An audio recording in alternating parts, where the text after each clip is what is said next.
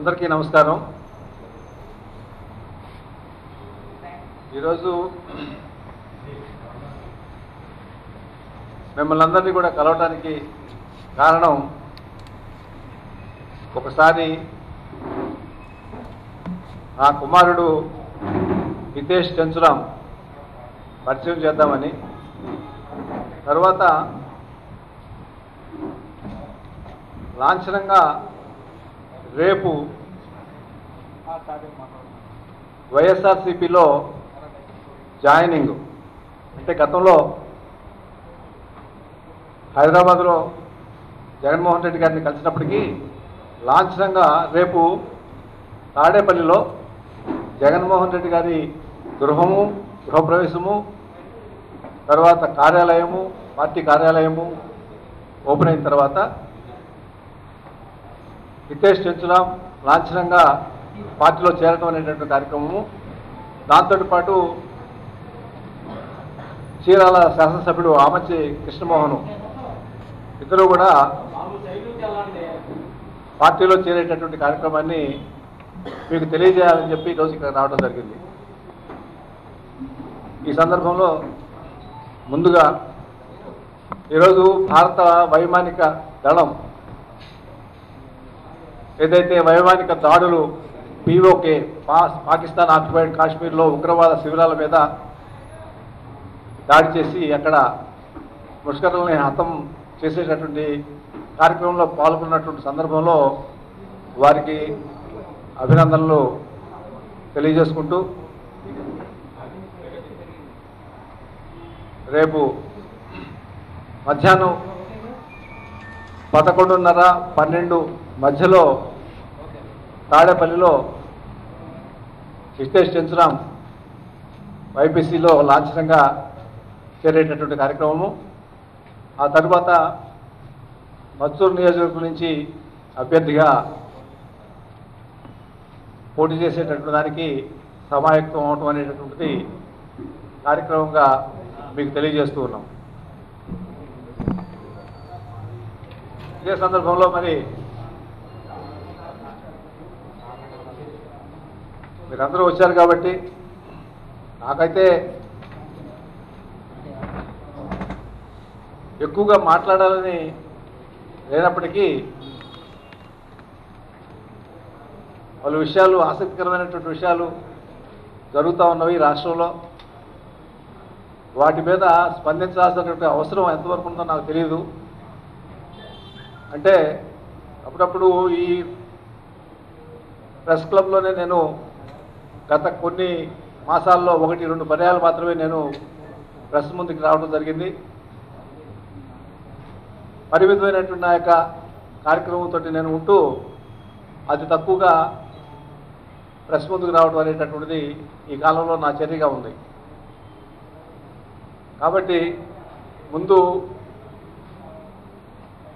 హితేష్ చంద్రాం రెండు మాటలు చెప్పిన తర్వాత ఏదైనా ఈ పరిణామాల మీద స్పందించమని చెప్పి మీరు అడిగితే నాకు ఉత్సాహంగా ఉంటుంది. ఎందుకనంటే ఇక్కడే నన్ను అడిగేవాళ్ళు. మీరేం స్పందించడం లేదు ఊరుకుండటం కూడా తప్పే కదా.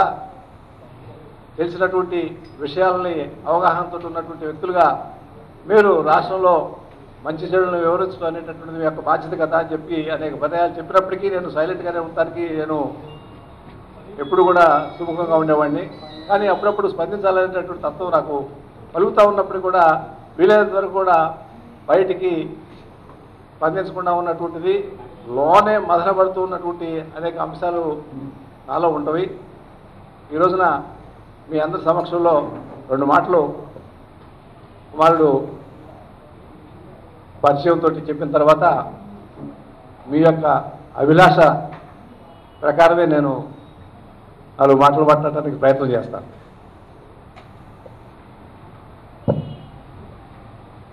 అందరికీ అందరికీ నమస్కారం. సమాజమే దేవాలయం ప్రజలే నా దేవుళ్ళు అనే నినాదంతో ముప్పై సంవత్సరాలు పైగా తాతగారు నందమూరి తారక రామారావు గారు నాన్నగారు రాజకీయంలో ఈ రావటం అనేది జరిగింది. దాని తర్వాత అమ్మగారు రావటం జరిగింది. వీళ్ళు వచ్చిన నినాదమే ఈరోజు నేను రాజకీయాల్లోకి రావటానికి నా స్ఫూర్తి. ముప్పై సంవత్సరాలు పైగా రాజకీయ రాజకీయాల్లో ఉన్నప్పటికీ ఈరోజు కుటుంబం మీద ఒక్క మచ్చ అనేది లేదు. అదే దిశలో నేను కొనసాగుతానని ఈరోజు తెలియజేస్తున్నాను. ఇంకో విషయం ఏంటంటే ఈరోజు నేను జగన్మోహన్ రెడ్డి గారితో కలిసి పనిచేయడానికి నాకు చాలా ఆనందంగా ఉంది. ఎందుకు అంటే ఆయన పడే కష్టం గత కొన్ని సంవత్సరాల నుంచి ఆయన్ని చాలా క్లోజ్గా అబ్జర్వ్ చేస్తున్నప్పటికీ ఆయన పడిన కష్టం. ఏది మన పాదయాత్ర కానివ్వండి లేకపోతే ఆయన ప్రవేశపెట్టే హామీలు రేపు గెలిచిన తర్వాత ఆయన తప్పకుండా చేస్తారనే హామీలు కానివ్వండి లేకపోతే వెనకబడ్డ కులాలకి కానివ్వండి లేకపోతే రైతాంగానికి కానివ్వండి మైనారిటీ సోదరులకి కానివ్వండి ప్రతి ఒక్కరికి తప్పకుండా రేపు ప్రభుత్వం ఏర్పడిన తర్వాత ఆయన హండ్రెడ్ పర్సెంట్ న్యాయం చేస్తారని గట్టిగా మేము నమ్ముతున్నాం. ఆయన డెఫినెట్గా మా తరఫు నుంచి ఆయన సీఎం అవ్వడానికి కృషి అనేది కంపల్సరీగా మేము అందజేస్తామని తెలియజేస్తున్నాను.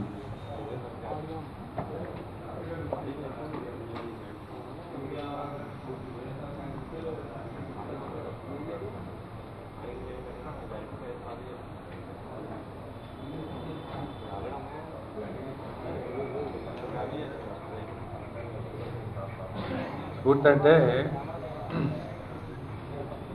ఇప్పుడు ఇంట్లో తల్లి తండ్రి రాజకీయ రంగంలో ఉన్నప్పుడు పిల్లల మీద యొక్క ప్రభావం అనేది తప్పకుండా పడుతుంది. గత రెండు సంవత్సరాల నుంచి నేను అబ్జర్వ్ చేస్తూ ఉన్నాను నా కుమారుడిని గత మూడు సంవత్సరాల నుంచి ఆయన కారంచేడు గ్రామంలో ప్రతి వారము వెళ్తాడు. ఎందుకంటే అక్కడే ఒక వ్యాపారం సంబంధమైనటువంటి ప్రాసెసింగ్ ప్లాంట్ పెట్టి అంతా ఎక్స్పోర్ట్ చేస్తారు.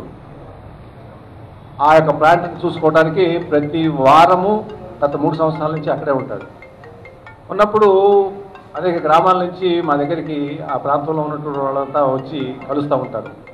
ప్రతి వాళ్ళు కూడా నాన్నగారు అమ్మగారు ఇట్లా ఉన్నారు ఇట్లా ఉన్నారని అని చెప్పడం ఇవన్నీ కూడా చూస్తూ ఉంటాడు. అప్పుడు నన్ను అడిగాడు రాజకీయ రంగానికి సంబంధించినటువంటి విషయాలు అన్నీ అడుగుతూ ఉండేవాడు అంటే ఆసక్తి ఉందా లేదా అనేటటువంటిది నేను చూసుకుంటా ఉన్నా.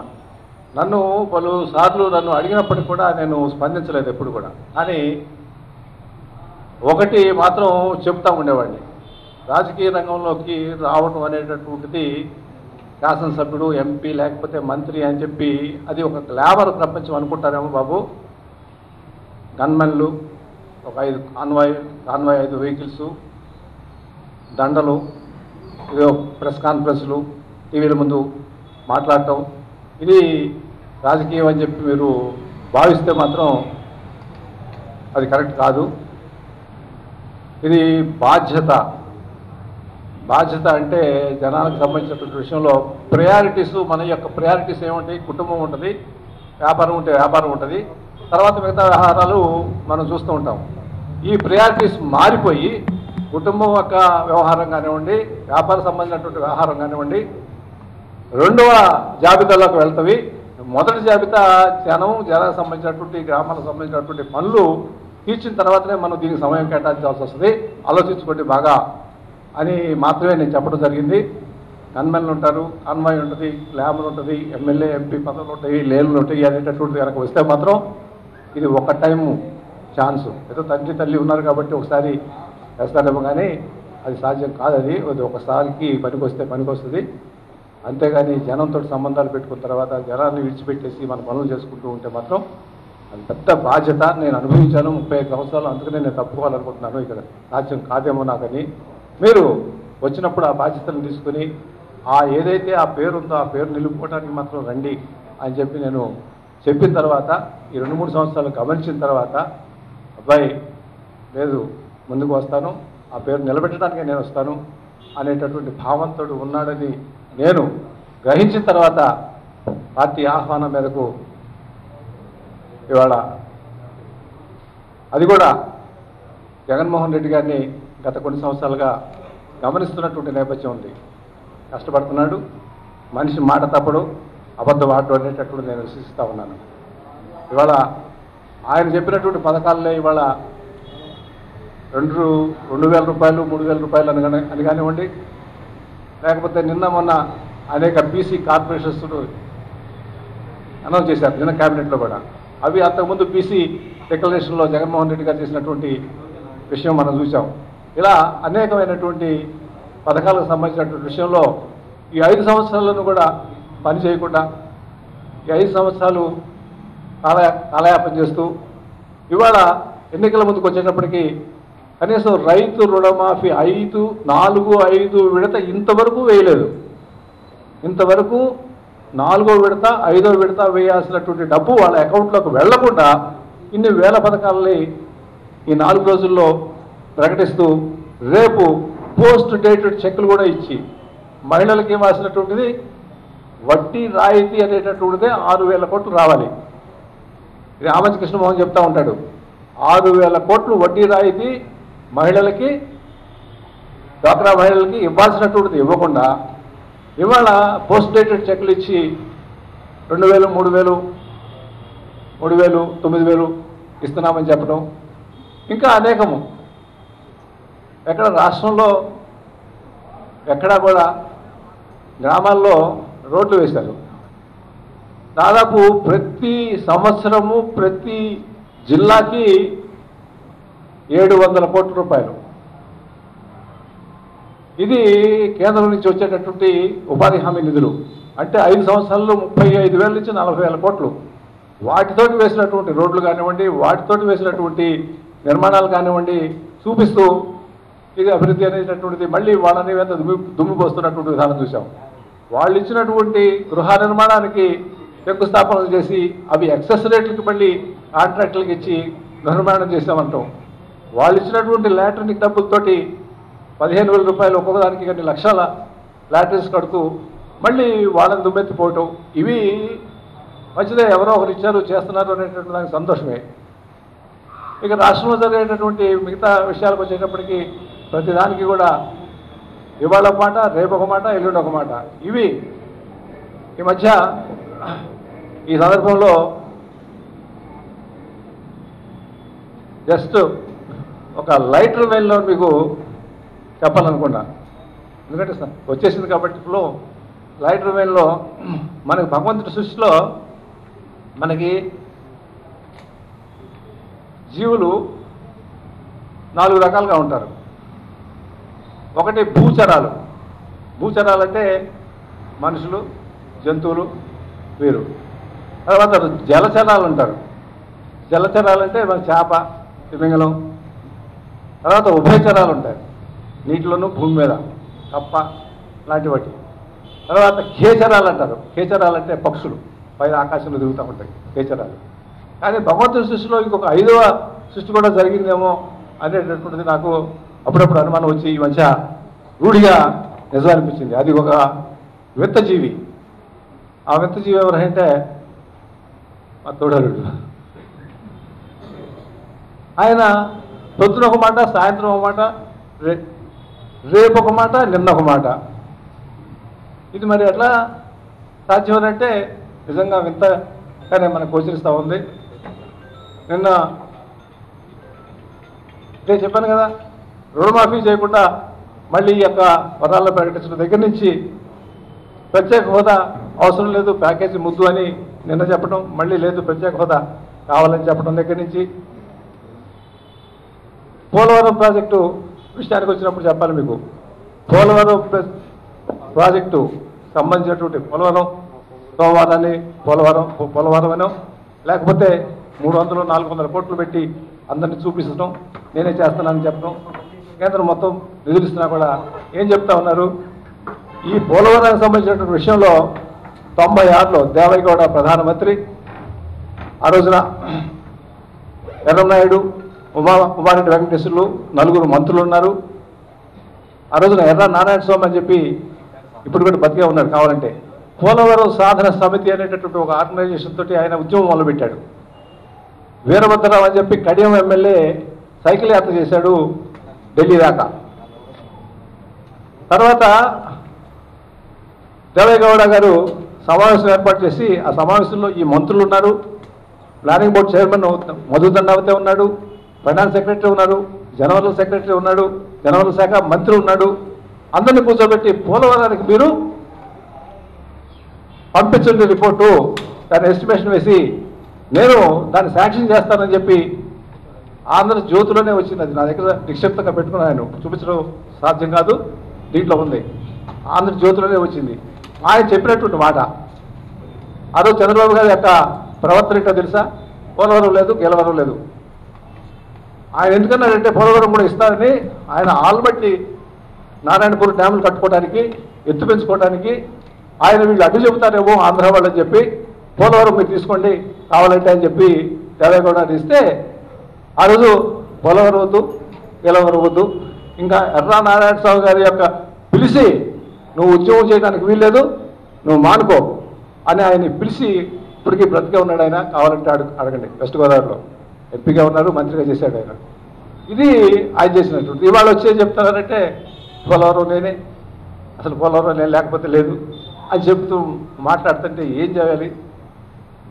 ఇలా అనేక అనేక విషయాలకి మనం గమనించినట్లయితే ప్రతిదీ నిన్న ఒకటి ఇవాళ ఒకటి రేపు ఒకటి చేస్తున్నటువంటి విధానం మన కళ్ళ ముందు కనపడతా ఉంది కాబట్టి రాజధానికి సంబంధించినటువంటి విషయంలో కూడా భూములు తర్పణం చేయటం మనం చూస్తూ ఉన్నాం.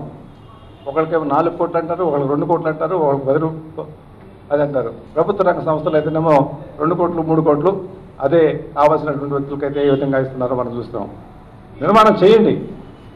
కానీ ఇప్పటి వరకు గ్రాఫిక్స్ చూపించి ఎవరైనా ఐదు సంవత్సరాలు ప్లాన్లు ప్లాన్ అంటే ఏమంటారు? ఆకృతులు డిజైన్స్ అప్రూవ్ చేయడానికి ఐదు సంవత్సరాలు పడుతుందండి ఇచ్చిన డబ్బులేమో తాత్కాలిక నిర్మాణాలు చేసుకుంటూ అవేమో ఎక్కువ ఎస్టిమేట్స్కి వేసి సరైనటువంటి నిర్మాణం లేకుండా కారుతా ఉంటే మళ్ళీ యూసులు ఇవ్వబట్టే తప్పుడు యూసులు ఇచ్చి కేంద్రానికి తప్పుడు యూసీలు. ఏది? మేము ఆ క్వార్టర్స్ కట్టాము ఈ క్వార్టర్స్ కట్టాము ఎమ్మెల్యే క్వార్టర్స్ కట్టాము ఎంపీ క్వార్టర్స్ కట్టాము లేకపోతే ఆఫీసర్స్కి ఇల్లు కట్టామని చెప్పి చెప్తూ వస్తున్నారు. ఇక్కడికి వస్తే లేవు. ఇంకా అంతెందుకు నేను? మనకి విజయవాడకి గుంటూరుకి ఐదు వందల కోట్లు ఐదు వందల కోట్లు మురుగు కాలువలకి ఇస్తే మురుగు కాలువలు అంటే డ్రైనేజ్కి ఇస్తే ఇంతవరకు యాభై పర్సెంట్ చేశారా అరవై పర్సెంట్ చేశారా ఇది ఒక్కటి చాలు మీకు. నేను చాలా చోట్ల చూశాను ఇక్కడ. తొవ్వేసి ఉంటాయి. నిర్మాణం పూర్తి కాల. ఐదు వందల కోట్లు ఇస్తే మనకి ఇక్కడ నిర్మాణం పూర్తి కాల. ఐదు సంవత్సరాలు అవుతా ఉంది. అది అధికారికంగానే చెప్పారు. ఒక ఒక మూడు నెలల క్రితం మేము గొడవ చేస్తే మేము ఇరవై రెండు పర్సెంట్ చేసాం ముప్పై రెండు పర్సెంట్ చేసామని చెప్పి అధికారికంగా చెప్పారు. అదేవిధంగా మన ఫ్లైఓవర్ ఏది? ఆ వారధి కరకదుర్గ దగ్గర ఫ్లైఓవర్ ఇప్పటికీ పూర్తి కాలేదు. మరి నితిన్ గడ్కరీ గారు వచ్చి అరవై వేల కోట్లకి రింగ్ రోడ్డు సహా అనంతపురం అమరావతికి రోడ్డు మీరు ఎక్వైర్ చేసి మీరు డిపిఆర్ పంపించండి మేము శాంక్షన్ చేస్తామంటే అయ్యేమో ఇవ్వరు ఉక్కు ఫ్యాక్టరీ ఉక్కు ఫ్యాక్టరీ సరైనటువంటి రిపోర్ట్ పంపించమంటే పంపించకుండా మేమే చేస్తాం. మీరు చేస్తాం మేమే చేసుకుంటాం అన్నప్పుడు ఇక అడగడం ఎందుకు? అలాగే రామాయపట్నం పోర్టు. రామాయపట్నం పోర్టుకి మీరు ప్రపోజల్ పంపించండి అంటే పంపించకుండా మొన్నటి వరకు కాలయాపన చేసి ఇప్పుడేదో శంకుస్థాపన చేయటం ఎలక్షన్స్ ముందు శంకుస్థాపన చేయటం. ఈ ఎలక్షన్స్ ముందు శంకుస్థాపనలు ఈ శంకుస్థాపనలకు మళ్ళీ కోట్లు. నేను ఈ మధ్య ఇంకొకటి కూడా చెప్పాలి మీకు. ఈ మధ్య ఒక ఆయన మా రాధాకృష్ణ గారు జ్యోతి మిత్రులు ఉండొచ్చు నాకు మిత్రుడే రాధాకృష్ణ. నాకు చెప్పాలని లేదు కానీ తప్పదు. ఎందుకంటే మొన్న కొత్త పలుకు అనే దాంట్లో నా మీద ఇష్టానుసారంగా రాశాడు. నేనంట అసూయ ఈర్ష్య పడుతున్నానని చెప్పి రాశాడు ఆయన. ఎందుకు? చంద్రబాబు గారు ముఖ్యమంత్రి అయినందుకు నేను అసూయ ద్వేషం ఈర్ష్య నేను పడుతున్నాను నేను ఐదు సంవత్సరాలు చాలా ఆనందంగా ఉన్నా. కానీ నాకు అసూయ ఈర్ష్య కాదు. చంద్రబాబు మీద జాలి. ఎందుకనంటే ఎందుకని తెలుసా? చంద్రబాబు మీద చంద్రబాబు సీట్లో కూర్చొచ్చుడు కానీ నాలాగా మాత్రం ఆనందిస్తూ ఉన్నట్టు మనిషి కాదు అని చెప్పి నేను అనుకుంటా. నేనైతే ఆ సీట్లో ఒక్క నిమిషం కూడా కూర్చోలేను. రోజు సోషల్ మీడియాలో కామెంట్స్ తిట్లు భరించలేము ఎందుకు? అబద్ధం. జనాలకి అబద్ధం చెబుతూ రోజు చెప్తా ఉంటే ఆ సోషల్ మీడియాలో వచ్చినటువంటి కామెంట్స్ చూసుకుంటే ఎవరు కూడా సంతోషంగా ఆ సీట్లో కూర్చుంటారనంటే ఇక వాళ్ళ కర్మకు వదిలేయాల్సిందే.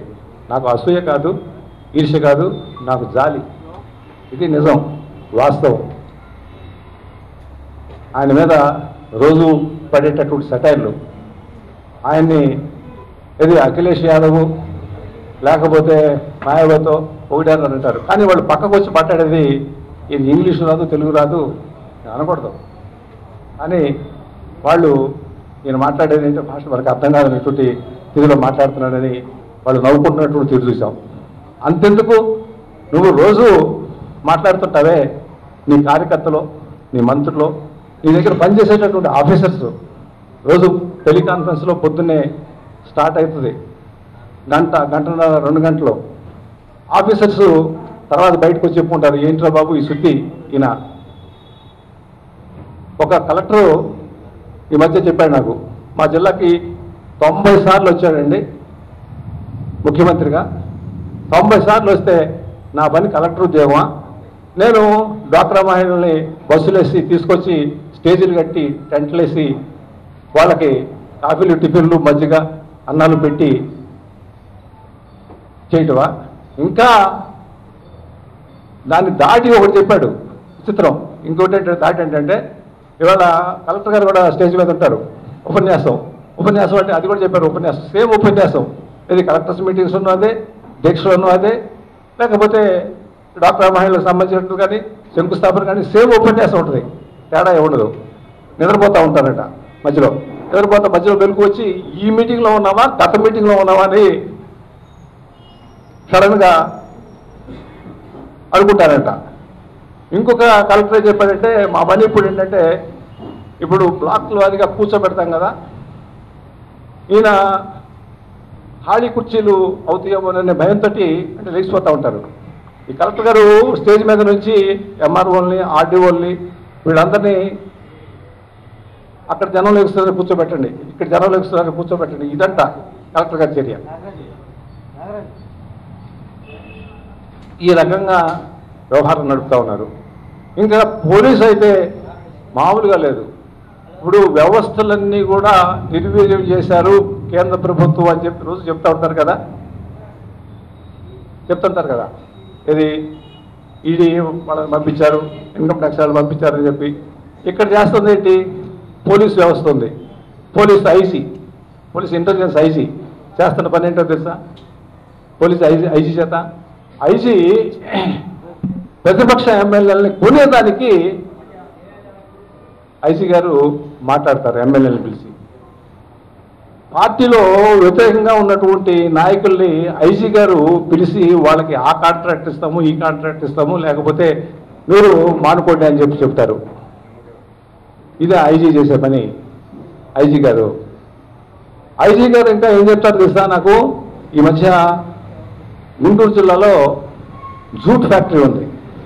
ఆ జూట్ ఫ్యాక్టరీ మూసేశారు ఎప్పటి నుంచో.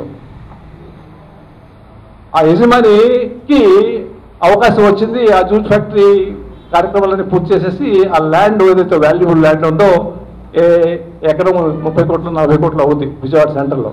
ఏ పది పది ఎకరాలు ఎంతో ఉంది? వందల కోట్ల రూపాయలు అవుద్ది. ఆయనకు అమ్ముకోవడానికి అవకాశం వచ్చింది. ఆయన ఏదో ఒక రియల్ ఎస్టేట్కి అమ్మాడు.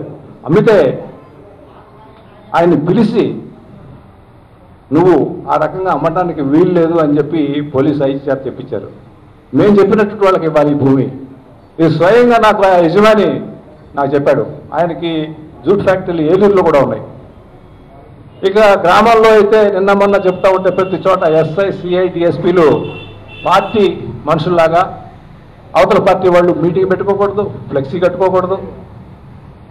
పెడితే వాటిని తీసేయించడం లేకపోతే కేసులు బనాయించడం ప్రతి చోట కూడా ఈ రకంగా గ్రామాల్లో వెళ్ళినప్పుడు చెబుతా ఉన్నారు. ఇది పోలీసు వ్యవస్థని నిర్వీర్యం చేసినటువంటిది. ఇకపోతే ఇంకొక వ్యవస్థ నిర్వీర్యం చేసినటువంటిది. ఏది? స్పీకర్ వ్యవస్థ. తెలుగుదేశం పార్టీ తెలుగుదేశం పార్టీ పంతొమ్మిది వందల ఎనభై రెండులో మొదలుపెట్టినప్పుడు ఫస్ట్ మహానాడు ఏప్రిల్ లెవెన్త్ రెండో మహానాడు పద్దెనిమిది వందల పంతొమ్మిది వందల ఎనభై రెండు మే ఇరవై ఎనిమిది తిరుపతిలో జరిగింది. అప్పుడే ఫస్ట్ పొలిటికల్ రిజల్యూషన్ అనేటటువంటిది స్టార్ట్ చేసింది. Political resolution first political resolution నేనున్నాను మా జాస్తి చలమేశ్వరరావు గారు ఇప్పుడు సుప్రీంకోర్టు జడ్జి రిటైర్ అయ్యారు కదా మేమిద్దరం ఉన్నాం.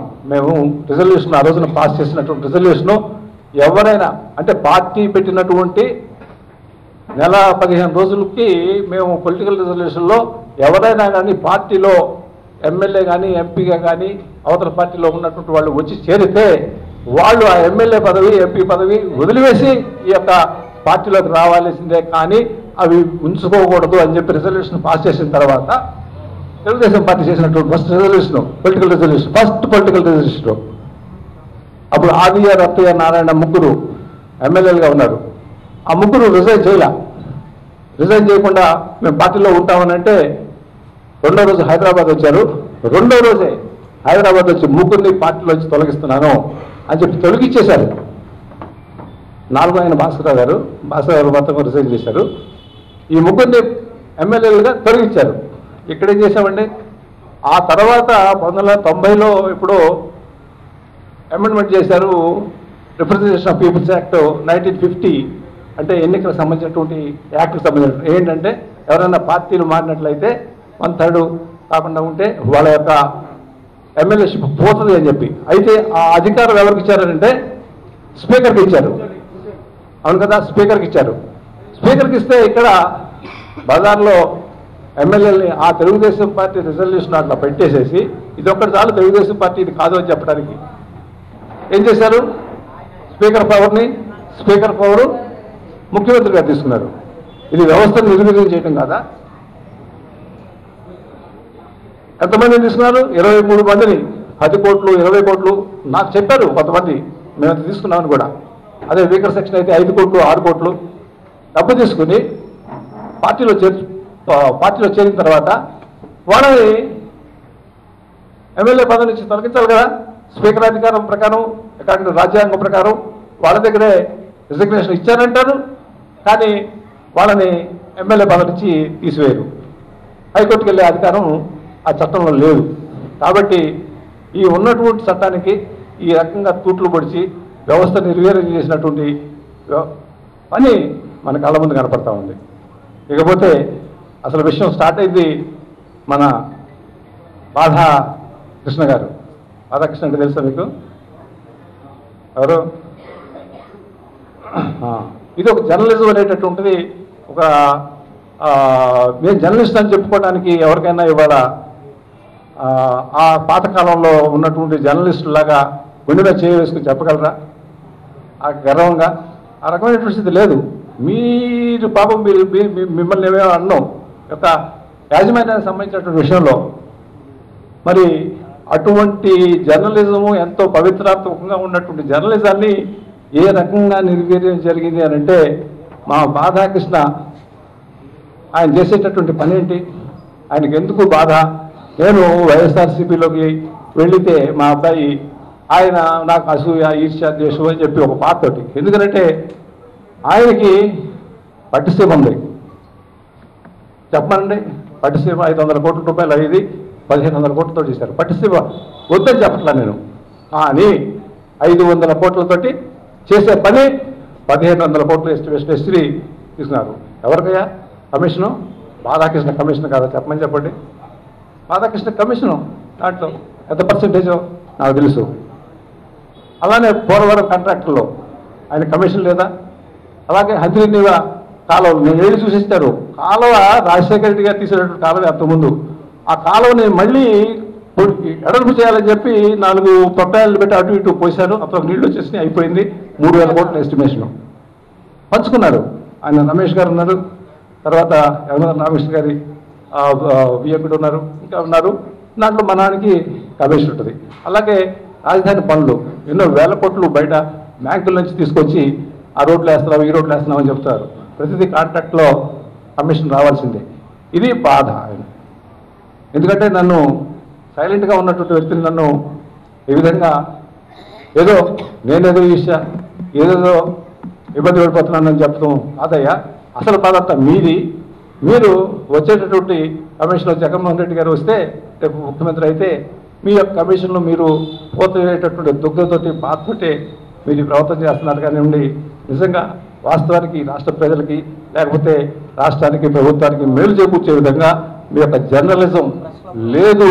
లేదు ఆ యొక్క వ్యవస్థని పూర్తిగా నీరుగా చేసినటువంటి వ్యవహారం ఇవాళ ఈ రాష్ట్రంలో పరాకాష్ట చెందింది అనేటటువంటి దానికి ఎంతకంటే నిరసనం లేదు. ఇది కాబట్టి ఇన్ని రకాలైనటువంటి చిత్ర విచిత్రమైనటువంటి పనులు చేస్తూ ఉన్నప్పుడు నిజంగా దేవుని యొక్క సృష్టిలో ఐదవ సృష్టి ఏది?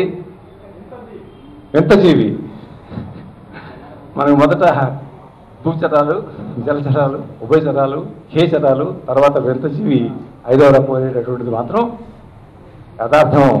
అది మా తోడలుడి గారు అయినందుకు నేను విచారిస్తున్నాను దుఃఖిస్తున్నాను. అంత తప్పితే నేను ఈడ్చబట్టలేదు. భగవంతుడు ఆయనకి ఇచ్చాడు ముఖ్యమంత్రి కూర్చుని చేసుకుని ఉండి చక్కగా. మంచి పదమూడు జిల్లాలతోటి చిన్న రాష్ట్రం అయింది బాగా చేయండి అని నేను సలహా ఇవ్వడానికి నాకు అవకాశం లేకపోయినా అలా ఆశించాను నేను. ఈ రాష్ట్రానికి చాలా ఒకే ఒక పని రైతుకి ఇన్ని రకాలైనటువంటి రాయితాలు ప్రకటిస్తున్నారే గ్రామాల్లోకి వెళ్ళొచ్చారు శనగ వేసిన రైతుకి ఇరవై వేలు నష్టం వరేసిన రైతుకి ఇరవై ఐదు వేలు నష్టము మిర్చి వేసిన రైతుకి పది ఇరవై వేలు నష్టము పత్తి వేసినటువంటి రైతుకి ఈ సంవత్సరం ఈ సంవత్సరం నీళ్ళు ఇచ్చాము జలసిరి అని ఆడతలు ఇచ్చారే ఇవాళ ఈ ఒక ఎకరానికి ఇది నష్టం చెప్తున్నా నేను. ఇది వాస్తవం కాదని ఏదైతే నన్ను చెప్పమని చెప్పండి. ఇది ఈ పరిస్థితుల్లో మద్దతు ధర. వాళ్ళు కోరేది పండించినటువంటి పంటకి మద్దతు ధర. ఏ ప్రభుత్వమైనా కేంద్రమైనా రాష్ట్రమైనా కూడా దీంట్లో ఫెయిల్ అయితే దాంట్లో ఎటువంటి సందేహం లేదు.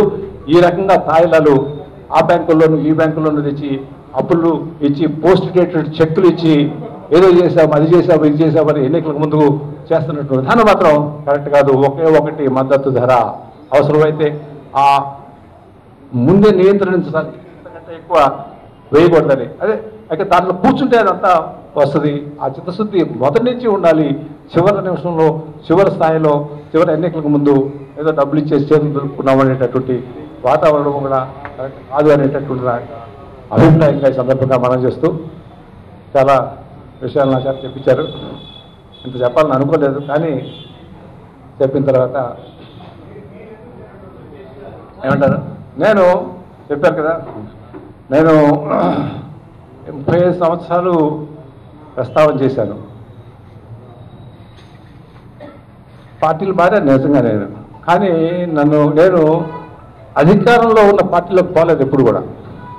నేను టూ థౌజండ్ ఫోర్లో కాంగ్రెస్లో చేరినప్పుడు కాంగ్రెస్ అధికారంలో లేదు నైంటీ సిక్స్లో బీజేపీ చేరాను నేను.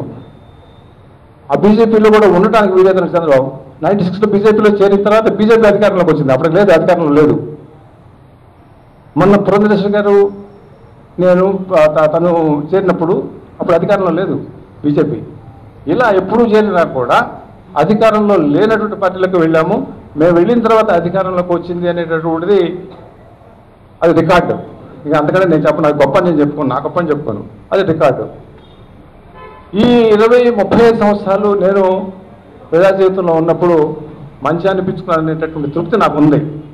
చెడు అనిపించుకున్నాను అనేటటువంటి భావన నాకు లేదు. జనం కూడా అట్లా చూశారు. ఇవాళ కూడా జనం ప్రతి గ్రామంలోనూ కూడా వెళ్ళినప్పుడు ఆ ఇంట్లో ఉన్నప్పుడు కానీ ఎక్కడ చూసినా కానివ్వండి వాళ్ళ యొక్క ఆదరాభిమానాల్లో నన్ను మళ్ళీ మా అబ్బాయిని ప్రేరేపించినాయి అనేటటువంటి దానికి నిదర్శనం. కానీ మేము ఇందాక చెప్పినట్లుగా ఎమ్మెల్యేలు పెట్టుకుని ఎమ్మెల్యే ఎంపీ పదవులు తీసుకుని మంత్రి పదవులు తీసుకుని పూర్ణంలో వేసుకుని టీవీల ముందు కూర్చుని రానికి మాత్రం రాము రాము రాలేము అసలు. ఆ సాధ్యం కాదు అది. ఇది బాధ్యతగా ఆ రకంగా చేసినటువంటి వ్యక్తిగా ఇక చాలు. ఇక మంచిగా ఉన్నప్పుడే రాజకీయం నుంచి తప్పుకోవాలని చెప్పి నేను భావించాను ఈ మంచి నోట్ తోటి నేను క్విట్ అవ్వాలి. అనేటటువంటిది నా యొక్క అభిప్రాయం మరి. ఆ రకంగా నేను నిర్ణయం తీసుకొని అబ్బాయి తయారైనప్పుడు ఆ పరంపర అనేటటువంటిది మంచి కోసం అనేటటువంటిది ప్రేమ కోసం అనేటటువంటిది మన యొక్క బాధ్యత నిర్వహించడం అనేటటువంటిది ఆ శక్తి సామర్థ్యాలు భగవంతుడిస్తే నిర్వహించాలి అనేటటువంటి ఒకే ఒక భావంతో అబ్బాయిని తీసుకొచ్చాం. కానీ ఇదేదో వాటేసుకుందాం ఇదేదో కలకాలం ఉంటుంది. అది కూడా నేను నమ్ముతా. ఎవరైనా ఎవరైనా ఎక్స్ అవ్వాల్సిందే. నా కళ్ళ ముందు చంద్రశేఖర్ని చూశాను గుజరాలను చూశాను దేవేగౌడను చూశాను పివి నరసింహరావును చూశాను ఎంతమంది రామారావు గారిని చూశాను రాజీవ్ గాంధీని చూశాను. అందరూ ఎక్స్ వాజ్పేయిని చూశాను. ఎక్స్ అవ్వాల్సిందే. ఇది పర్మనెంట్ అని అనుకోవడం అనేటటువంటి తప్పు. కాకపోతే మనం ఆ సీట్లో ఉన్నప్పుడు బాధ్యతగా చేసావా లేదా అనేటటువంటి తృప్తి మనకుంటే అది భగవంతుడు మన చల్లగా చూస్తాడు మన పిల్లల్ని మన కుటుంబాన్ని చల్లగా చూస్తాడు అనేటటువంటి భావించాను. నా పిల్లలు కుటుంబం చల్లగా ఉండాలని చెప్పి మాత్రమే నేను కోరుకుని నా యొక్క చర్యని ప్రతి నిమిషం కూడా చెక్ చేసుకుంటా ఉన్నాను. నేను తప్పు చేస్తే అది కుటుంబానికి పిల్లలకి దెబ్బతింటది దెబ్బతింటారు. అది చేయకూడదు. నేను పోలీసుల్ని నేను ఎమ్మెల్యే కానీ మినిస్టర్ అయినప్పుడు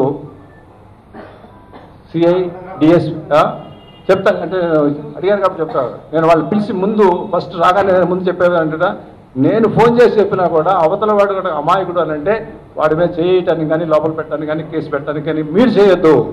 ఆ పాపం తగులు కొట్టదు మాకు. అందువల్ల మీరు చెక్ చేసుకోండి. నేను చెప్పినా కూడా నాకు ఎవరో చెప్తారు మా పార్టీ కార్యకర్తలు చెప్తారు. అవతల వాడు లోపల పెట్టమని చెప్పి తప్పు చేశాడని చెప్పి అది ఇది. కానీ మీరు చెక్ చేసుకోండి. అని అనేక సార్లు నేను చెప్పేవాడిని. ఆ యొక్క గౌరవము అధికారులు నాకు ఇప్పటికీ ఎక్కడున్నా కూడా డాక్టర్ గారు ఫోన్ చేశారని చెప్తే ఆ మంచి చెడు చూసి చెప్తారు అనేటటువంటి ఒక మాటని నేను నిలుపుకున్నానని నా యొక్క భావన. ఇటువంటి మంచి వాతావరణంలో నిర్మించుకుంటే ఆరోగ్యంగా ఉంటుంది.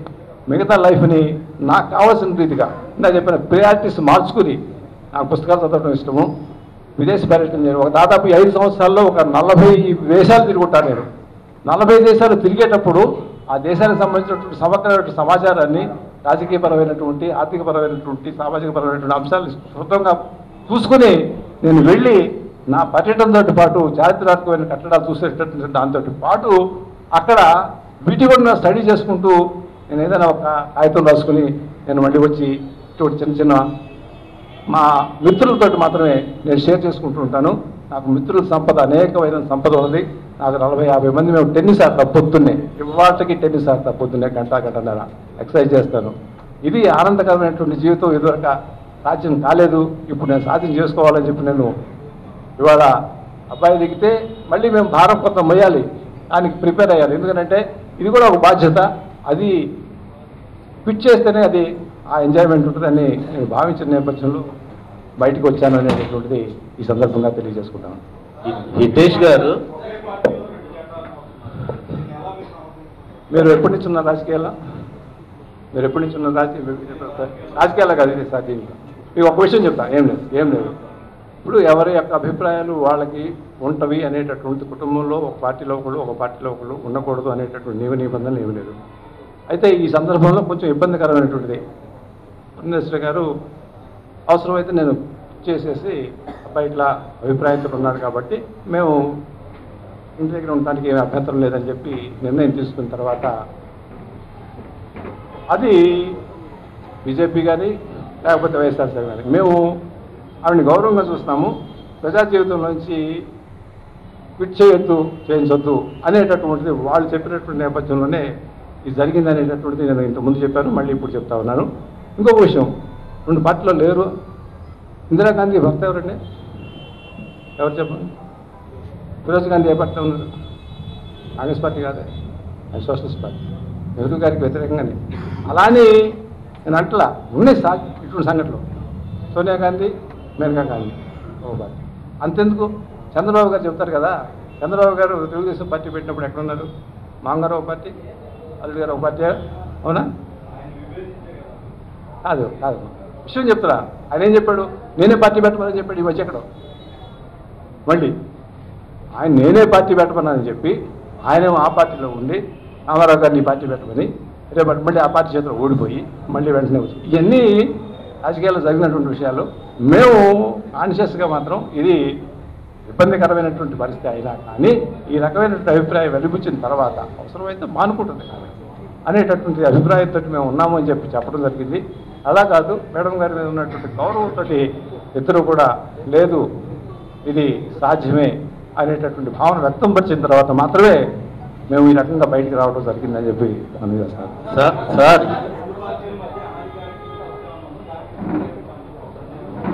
మీకు పొత్తుల విషయాలు నాకు తెలియవు. పొత్తుల విషయాలు పై వాళ్ళు నిర్ణయించుకుంటారు.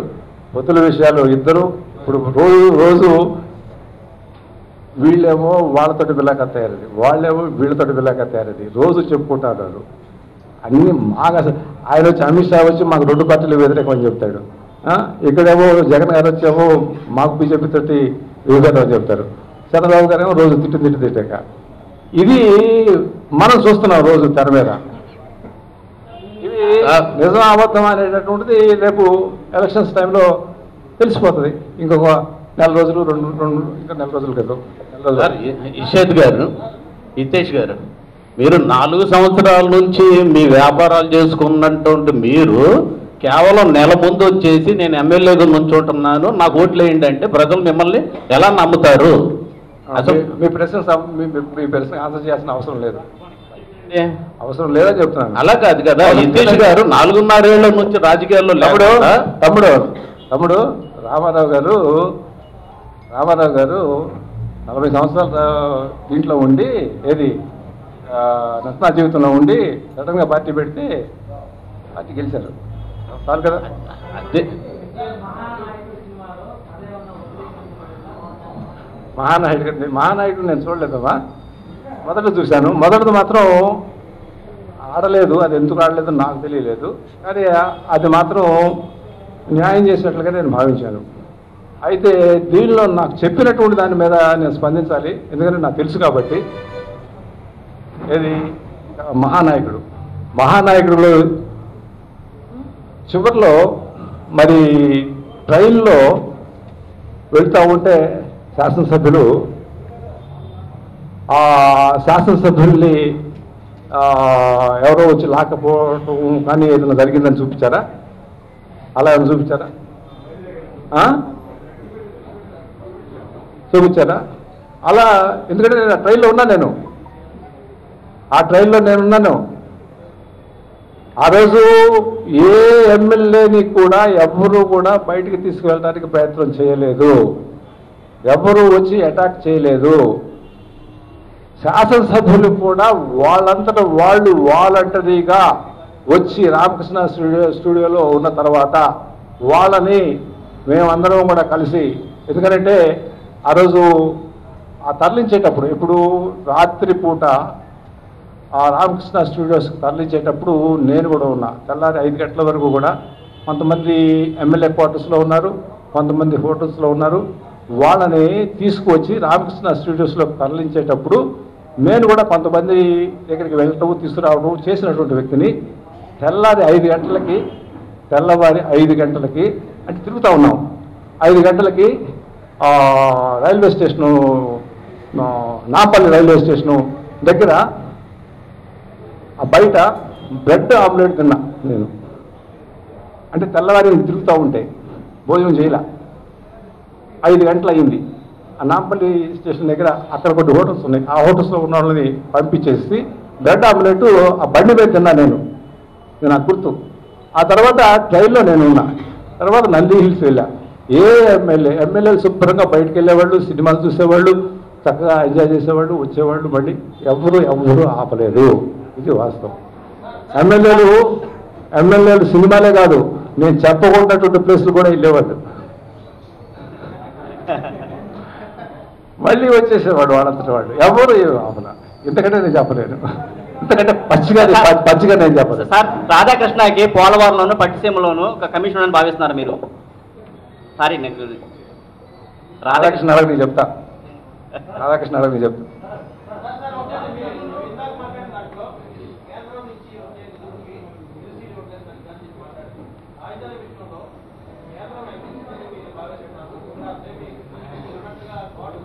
అమ్మ మనకి మనకి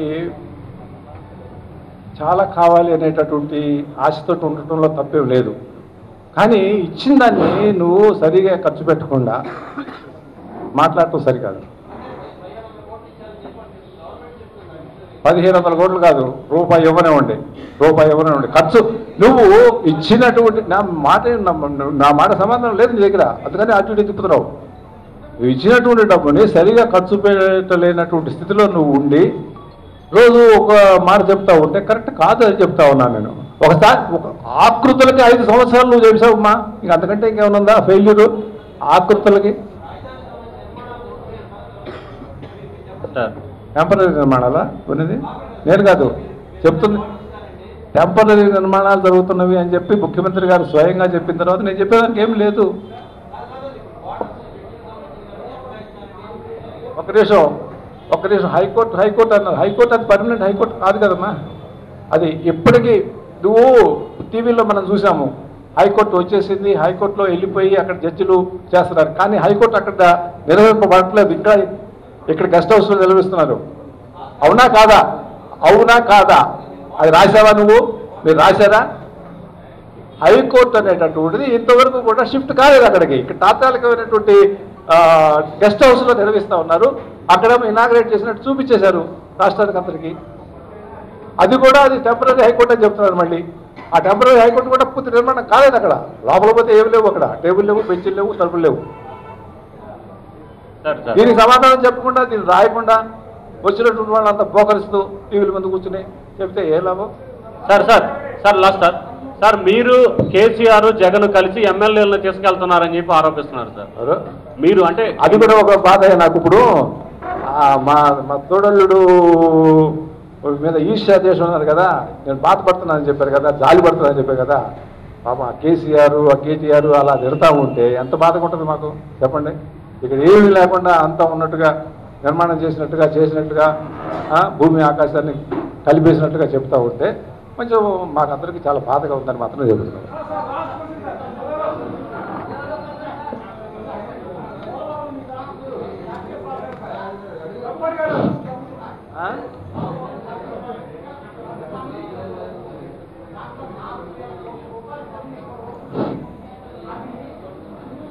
నువ్వు ఒక్క నిమిషం త- తమ్ముళ్ళు తమ్ముడు నిన్న ఒక రైతు నిర్మాణం కోసం ఏది మన రాజధాని నిర్మాణం కోసం తన పెన్షన్లో ఒక లక్ష రూపాయలు తీసుకొచ్చి రాజధాని నిర్మాణం కోసం ఇచ్చానని చెప్తా ఉన్నాడు.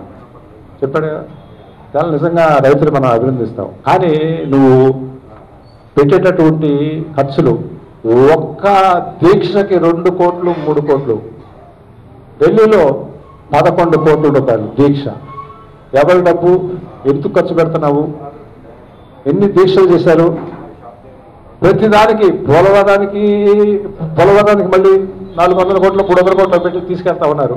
నిన్న మా అద్దంకిలో ఇక్కడ బస్సులు లేవండి. ఇక్కడ ఈ డిపోలో తొంభై బస్సులు ఉండేవి.